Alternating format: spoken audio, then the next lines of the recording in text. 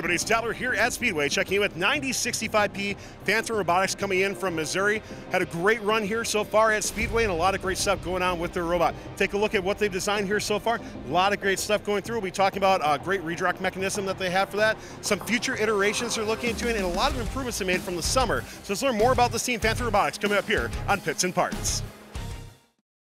This video on fun is brought to you by viewers like you and also in partnership with the following. The Robotics Education and Competition Foundation provides fantastic programs for students from elementary school all the way through college.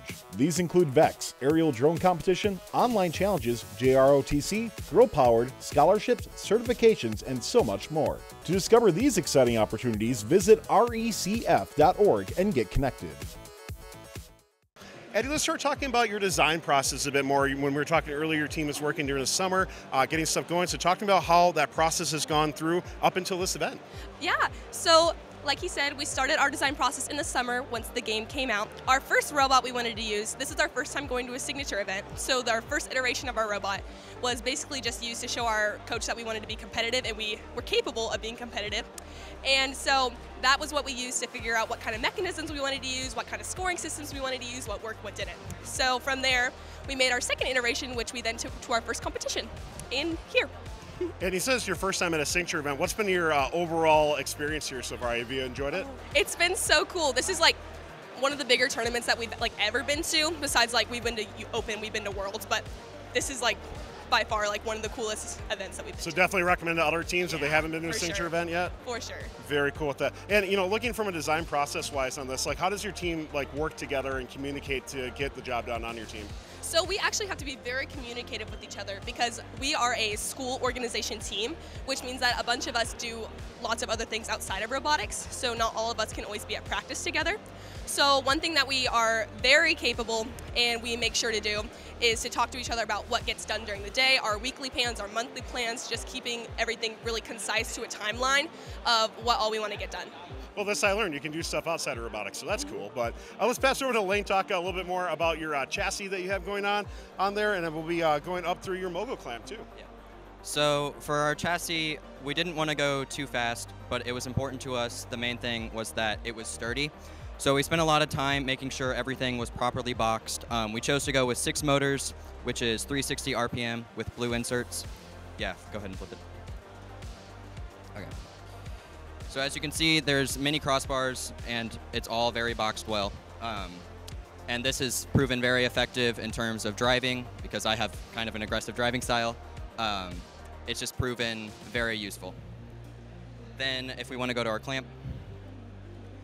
So, for our clamp, it was important to us for it to be consistent. So, during Auton, we were able to clamp consistently and not have it get thrown off. So, we added a sheet of plastic near the bottom. And then, when the ring goes into it, or the tree, when the tree goes into it, it stops it right there. And then as this clamps down, what happens is that plastic bends backwards to a certain point where it gets stopped. And then when that happens, it is in the perfect position for our intake.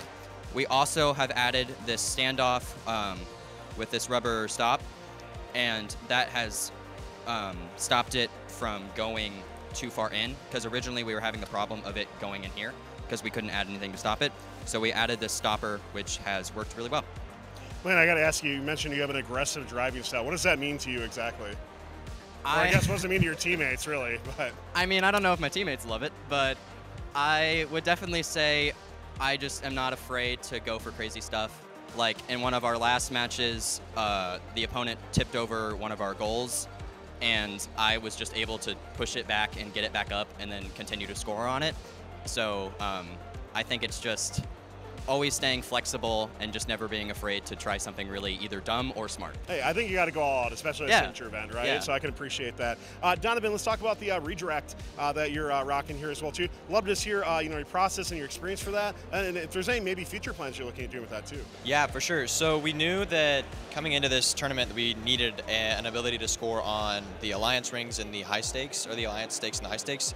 And the only way that we've seen that happen with tournaments we've been to, the like I said, up in Omaha, um, is with a redirect. So this redirect is very different from what we see in our on, in our school because we have three other sister teams with us. Um, our redirect actually, the two bar kind of comes down like this. Then can you help the two bar? Pull the two bar down. The two bar comes down like that, and then a ring when it comes up, just kind of flips like that. And then when we run the intake in reverse, the ring folds down in there, and then that just yeah, flaps like that. And then when we want to score on a on a, on a high stake, it goes up, it flips out, and we're, we're able to essentially take it like this, and with a ring on there, we can just pull it straight out without any complication with getting it out with this bar that we had to cut because. And we were talking earlier that you might be considering going with a Lady Brown uh, type of mech for that. So is that something you're pretty sure you're going to go with? That is something 100%. We are. That's on our very next iteration of the Lady Brown mech.